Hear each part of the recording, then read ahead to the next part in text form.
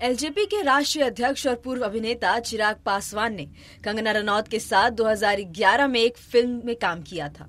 चिराग ने कहा कि वे बहुत शुक्रगुजार हैं कि उन्होंने कंगना के साथ बहुत पहले काम कर लिया था। अगर उन्होंने इस वक्त कंगना के साथ काम किया होता तो हर रोज नेपोटिज्म के बारे में सुनना पड़ता।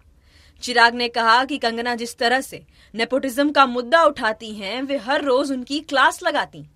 चिराग ने कहा कि नेपोटिज्म से आपको प्लेटफॉर्म मिल सकता है, लेकिन सफलता मिलेगी कि नहीं, इसकी कोई गारंटी नहीं है। चिराग पासवान ने कंगना रनौत के साथ फ़िल्म मिले ना मिले हम में काम किया था।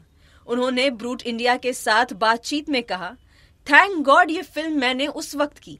आज कर रहा होता तो कंगना जिस तरीके से नेपोटिज्म का इश्यू हाईलाइट करती हैं, मेरी तो रोज क्लास लगती। चिराग ने यह मजाकिया अंदाज में यह बात कही। नेपोटिज्म पर बोलते हुए चिराग ने आगे कहा, इससे कोई फ़र्क नहीं पड़ता कि आप सुपरस्टार के बेटे हो या प्राइम मिनिस्टर के। अगर आपको लोग पसंद नहीं करते तो इसका कोई मतलब नहीं है।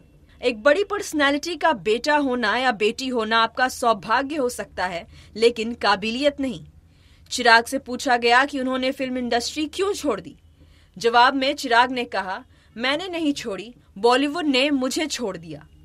मुझे लगता है कि बॉलीवुड के लिए बना ही नहीं था। लोग आपको चढ़ा देते हैं कि अच्छा दिखते हो अच्छा बोलते हो।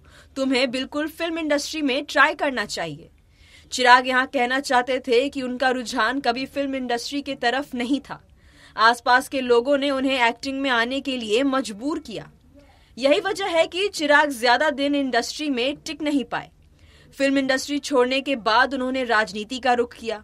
जो सफलता उन्हें इंडस्ट्री में नहीं मिली, वो सफलता उन्हें राजनीति के मैदान में मिल गई। वे लगातार दो बार से बिहार की जमुई लोकसभा सीट से सांसद हैं। उनके पिता रामविलास पासवान बिहार के कद्दावर नेता थे। वे कई बार केंद्रीय मंत्री भी रहे। 2020 में उनका निधन हो गया। सिर्फ़ खबर दिखाना देशवा न्यूज़ का मकसद नहीं। देशवा न्यूज़ की कोशिश है कि समाज की सूरत बदलनी चाहिए। देशवा न्यूज़ पर वीडियो देखने के लिए लाइक करें, सब्सक्राइब करें। साथ ही बेल आइकन दबाना न भूलें।